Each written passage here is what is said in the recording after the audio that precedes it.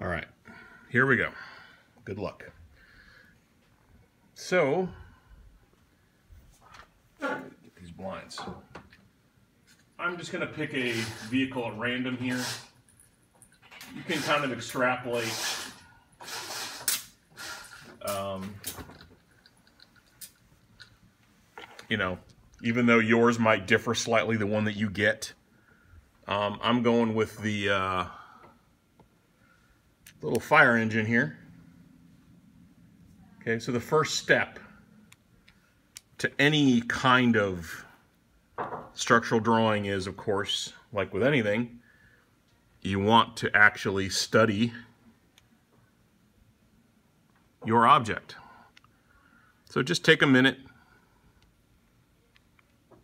kind of examine the proportions of the object, kind of look at what you're dealing with. Remember that you are going to have this at a isom, you know, that good three-quarter angle that's good for isometric drawing that we've kind of talked about in here. You find out want to find that sweet spot. Um, so from this downward, I mean, the camera's pointing straight down. So when I have this looking at me, I mean, you're going to see it from a different object than I'm, that I'm drawing it at. So for the purposes of the drawing, this is about the angle that it's going to be at. And you want the front of the object to kind of be pointing to the front, okay? And this is a good object because it, there's not much to it. It's very simple, right? You can almost visualize the block of wood that this was carved from.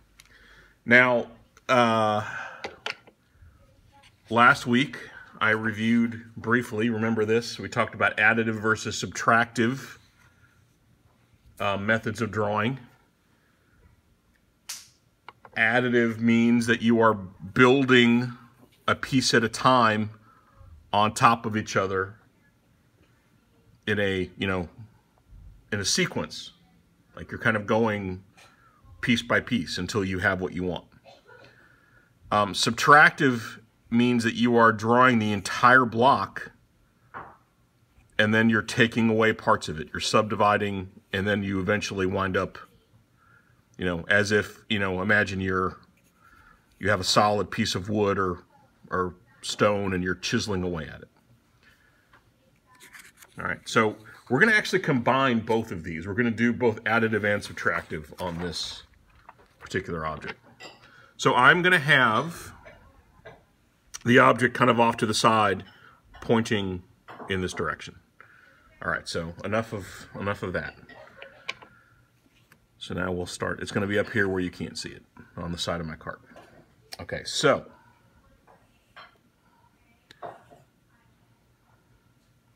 it's a little crooked, but we'll we'll figure it out.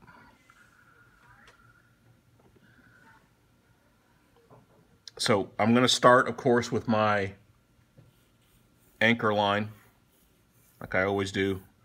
And you're going to put it towards the bottom of the paper because you want to account for the length of your object, right? You don't want to start it up here, you're going to run out of room. So towards the bottom, and maybe even a little bit further down if you if you think you need it. All right, so looking at my object, I've got a really long rectangular block. So I want to account for this whole length of this chassis of the of the truck, as well as the height. I'm going to actually make my box as tall as the highest part of the object, which is up here.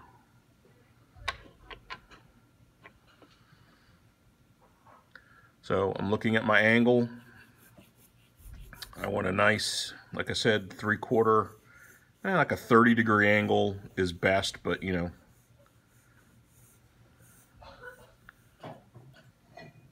Something in that territory is good. Remember, I am, you can't see it, but I am actually moving my whole arm up through my shoulder as I'm drawing. That helps. Okay, now remember, you want to finish off this almost kind of parallelogram kind of diamond shape and you want opposing edges to be parallel with one another. So everything going along the same axis is parallel. So this is parallel with this because they're on the same axis. So that means this will be parallel with that. It's okay if your lines go a little over.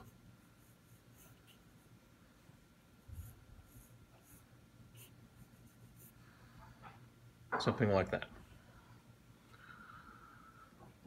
Now we're going to go up on that z-axis. Again, make all those lines parallel with each other. You want it basically parallel with the side of the paper, at the edges of the paper.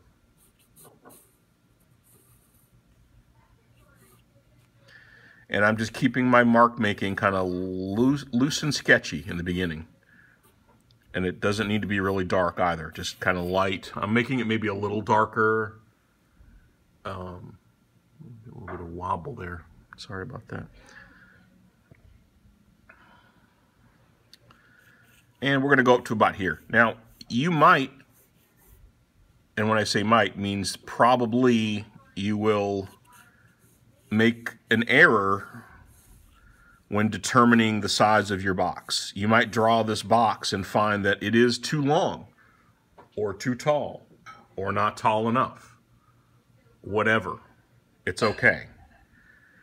You can adjust afterwards. It takes some practice to kind of get it right on the first guess, and I have trouble with that as well.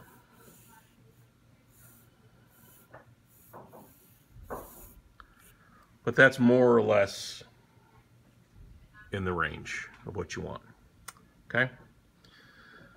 Now we have, go back to our object, we've got this shape. If you look at your object from the side like this, you're going to see like the, a kind of like a silhouette of your object. So for this object, it's going to look like this. For a different one, it'll look differently. But basically, you want to look at it from the side. You want a side projection. And then what you're going to do is you're going to try to draw this shape on the front side of your box. Now, I'm going to kind of subdivide it. I'm not just going to start drawing it like cold. I'm going to like try to measure it a little bit as best as I can. So I'm going to like split this up into two sections. The front section and then the back. So just by looking at my object, I'm going to say, okay, the front takes up about this much.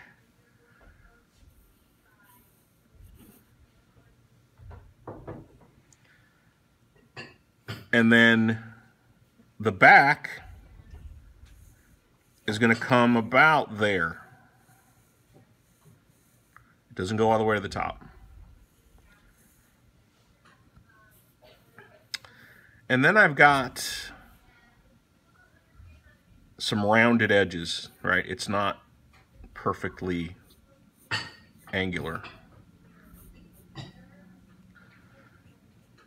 So we've got something in this neighborhood.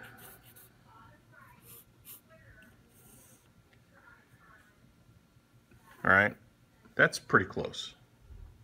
This, all this up here is going to wind up being gone. We're going to get rid of it. Before we can do that, though, remember we want to draw through our forms. We want to draw through to the back. And remember, the key to doing all of these subdivisions is you want to make everything parallel with the larger box. So when I come across here to the back, I want to make sure that all these lines are parallel with all of these lines on this axis. If I'm going across this way, same deal. If I'm going up and down, ditto. All right? And if you do it right, and if you do it like where all the corners meet up, you should have a, a, you know a point at which you can say, okay, if I come back to here, then I can take this to here, And then from this corner, even though it's kind of overlapping with the front, I can go up from there and meet that point.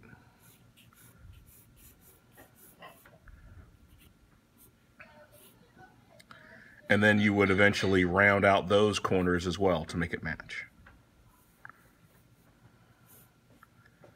Okay. So now it's starting to look more like our engine. We actually have a little bump on top for the, I guess that's the siren. Now there's a couple ways you could do this. If my box was maybe a tiny bit taller, I could have ended this line a little bit. I might still be able to do that.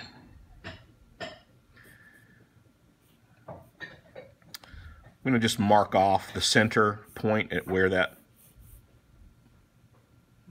um, little siren light is going to be. And I'm just going to bring this down a little bit more. See, I'm kind of just lowering that line just a bit. Now I can go up in the middle, come across.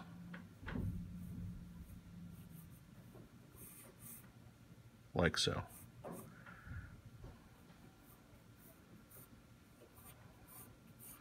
I also have a little bump here, I guess, for the front bumper, this little indentation that sticks out. So I will also account for that. Just draw a line going across. So this kind of comes down, comes out. All right, so it's not that difficult to kind of get the body shape on these uh, on these objects. This is a really, like I said, really simple object. so now we've got to do the wheels. So up till now, we've pretty much done a subtractive process with this. All right, we made a block, subdivided it, and took took parts away. So we would, now in a regular drawing, we would erase these lines. But remember, this is a structural drawing. It's in this using this crating technique. You want to leave all of your foundation lines, all your construction lines. All right, so now we need to draw the wheels. And this is where we're going to switch to additive now. We're going to add these wheels on. Now, if we look at our object, we can see that our wheels are centered in a certain distance and really if we visualize this as one cylinder running all the way through the object um, we can then cut the wheels off and give them a sense of thickness here. You see how, I mean, they're not flat wheels. They're very, they're very thick. All right, so we want to look at where the center of each wheel is located. So if I draw, like imagine a straight line going from the center and going straight up, that line's going to be about in line with this, almost the center of this uh, siren. So I'm going to draw that line. Again, keep it straight. And then as far as the width of the object goes, um, the center of that wheel is just above the bottom of the object. So I would say somewhere in here.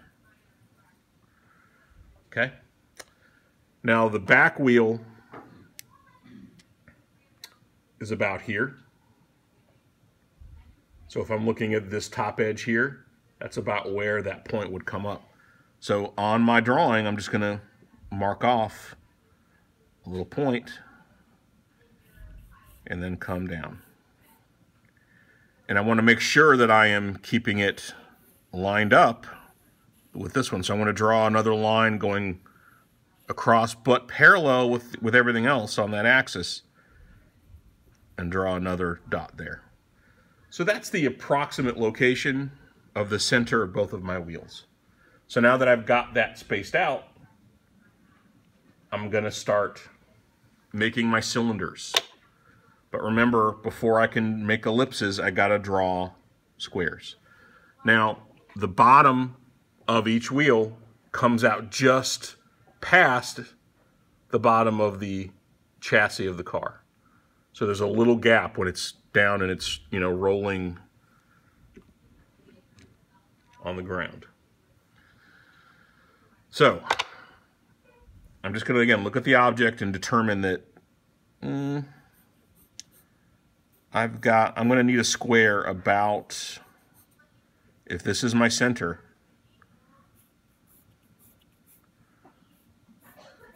about like that. Okay?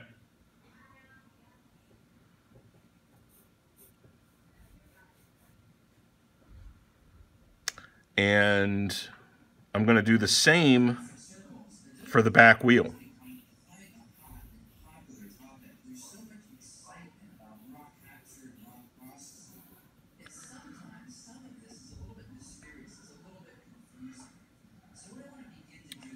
So I want the bottom of this to line up with the bottom of this. And I also want the top of each wheel to line up with this. Wow, that movie next door is really loud.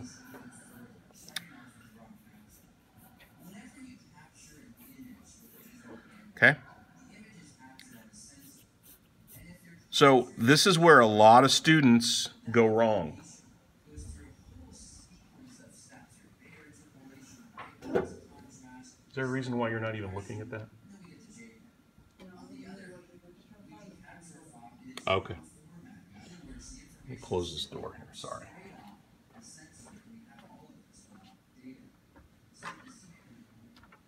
That's better. All right, here's, here's where a lot of students go wrong. They will draw a box around, you know, for their wheel, but they're not drawing it parallel with the rest of the box. Like they'll draw, you know, they'll do this, but then everything else is going this way, right? So you've got to make sure that your box is parallel with the larger boxes, okay?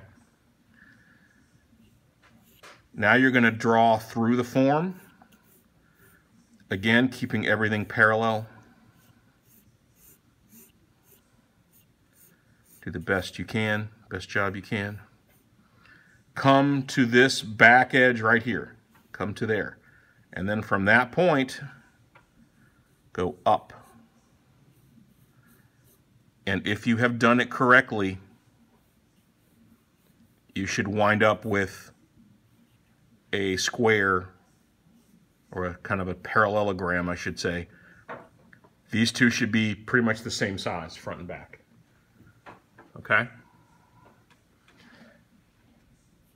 And now you're going to do the same with the back wheel. Make it parallel. Draw through the form.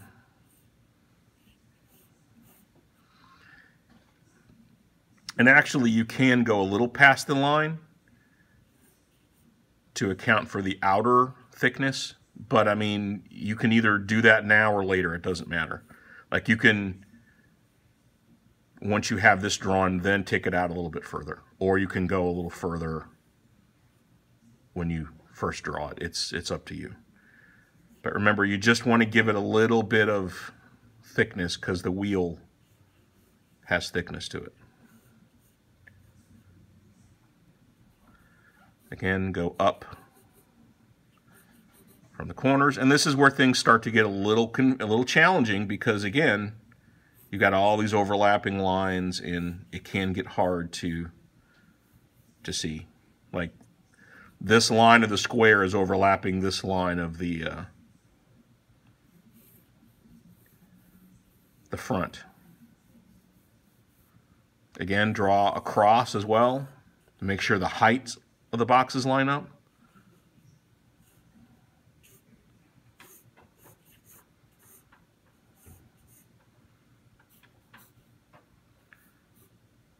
And there you go. All right, you with me? We're almost done. Now we're going to, before we draw the ellipses, I want to draw a second box behind the ones we just drew. So what we're going to wind up with are two ellipses that are kind of overlapping each other. But first we're going to have the, the two boxes overlapping each other.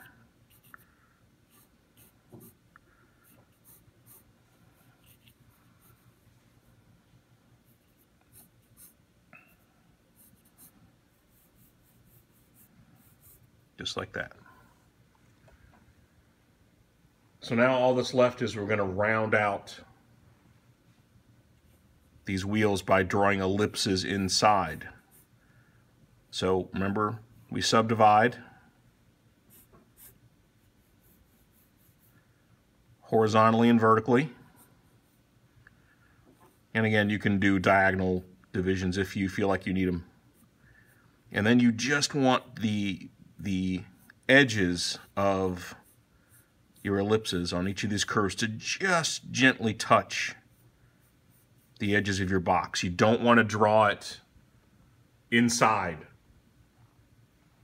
right? Like don't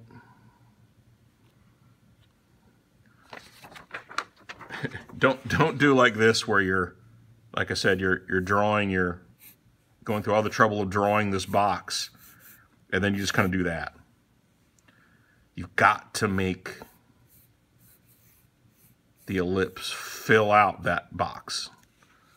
So you're you are in essence making a box that is in proportion to these wheels. So you've got to be able to see how big is that wheel compared to the rest of the object. All right, draw through. Make sure that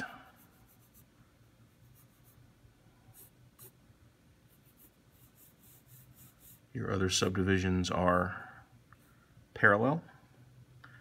And then you're going to do another ellipse on the back. And again, if you have done it correctly, you should wind up with two ellipses that are the same size and shape. And they should be nice and smooth. They shouldn't have pointy edges. They shouldn't be egg-shaped or anything lopsided or weird. All right, then you do the same on the back.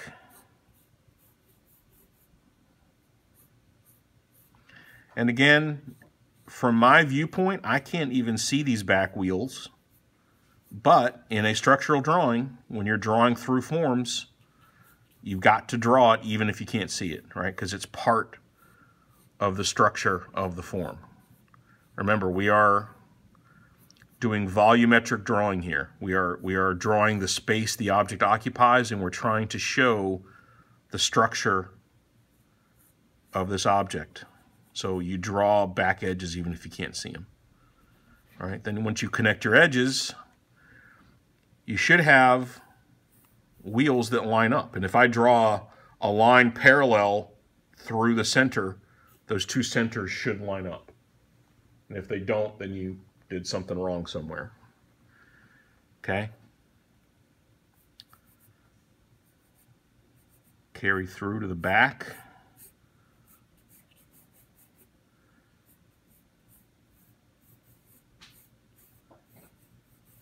like so.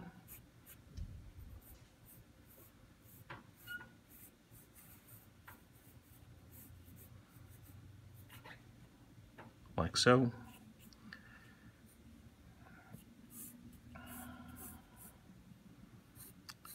And then we've got one more wheel.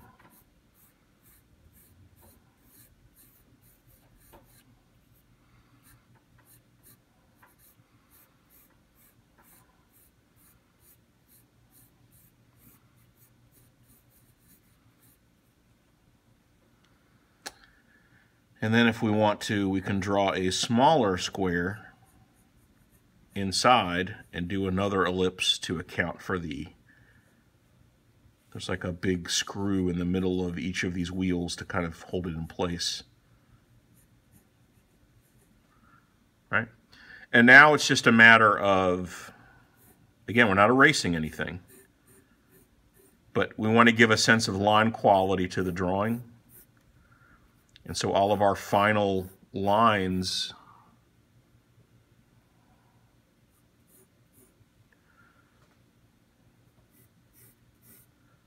we want to accentuate and darken.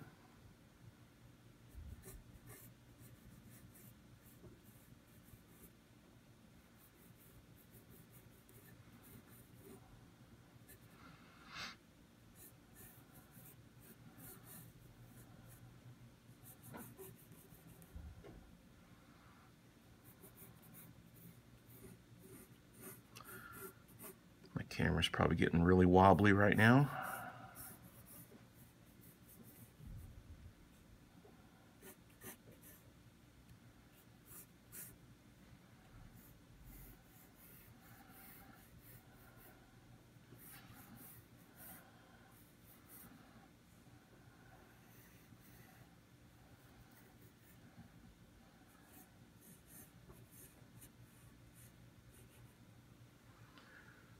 There we go. There's our fire engine. Okay.